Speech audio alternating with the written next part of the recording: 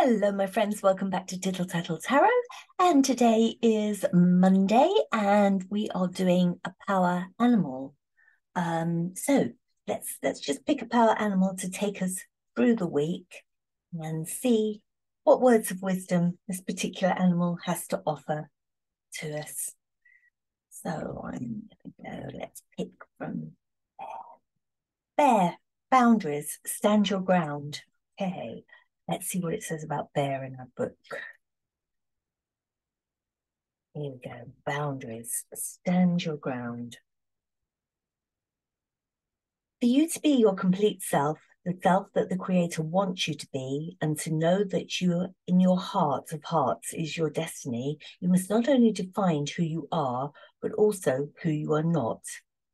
It's only when you can say a clear no that you can equally say a clear yes, and both are equally important in defining where your edges are. Setting your boundaries in this way increases your confidence and sense of autonomy, and your choices become much clearer. This doesn't always mean that you have to say no, it just means to be secure in knowing that you can.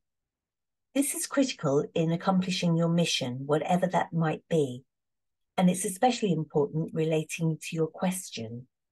It's very tempting to succumb to others' demands and the various distractions that tempt you, and this often appears to be the easier route to take.